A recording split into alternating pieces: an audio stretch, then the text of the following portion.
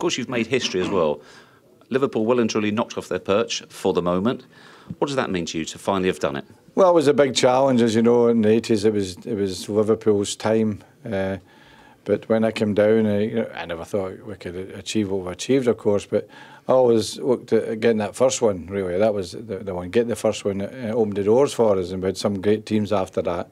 The 93-94 team won the double for the first time in the club's history, and since uh, since then we won it two or three times.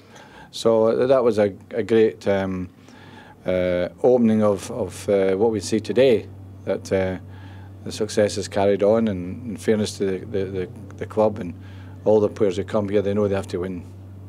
12 Premier League titles. Can you believe it? no, I can't. When I come down and I had a terrific spell at Aberdeen in fairness, we had a, had a great time up there and it was always time for me to move on at some point and I couldn't have picked a better club. This was the ideal club for me, there's no question about that. This is the only club in the world that can match my what I needed at the time. That was what you needed then. How about now? Kenny Dalglish back at Liverpool. They'll be right back at you. Are you in the mood to take up the cudgels again next season? Well, eh, we're going to expect him to be up in the top four at least, aren't we? We're always going to be. The, the, people going about Roy Hodgson. I think Roy Hodgson picked up a bad squad at the time. I think that it was a deflated squad. I, I don't think these. Yeah, I'm the one to criticise the previous management, but Roy did an impossible job. But Kenny's come in and, and lifted the whole place, and because he knows what Liverpool is, mm -hmm. he's a great player for them, and uh, you see the results now.